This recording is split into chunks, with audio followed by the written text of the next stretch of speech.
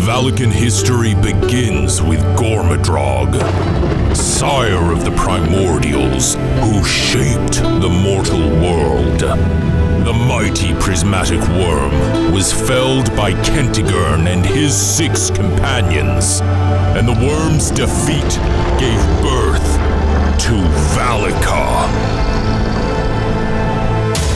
His flesh became the land. His spine became mountains. His blood, the frost covered sea. And now the kin of Kentigern sail to glory and sing sagas of their victories. We will raid with clever cunning. We will wield new magics to conquer our foes.